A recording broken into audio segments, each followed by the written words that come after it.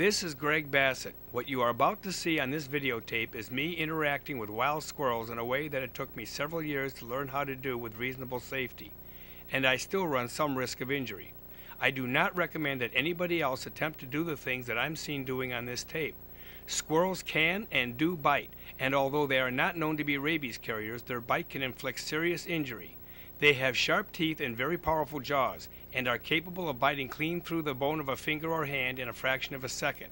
Also, their claws can cause deep and painful scratches and tears in skin and flesh. So sit back and enjoy the show. But remember, don't try this at home.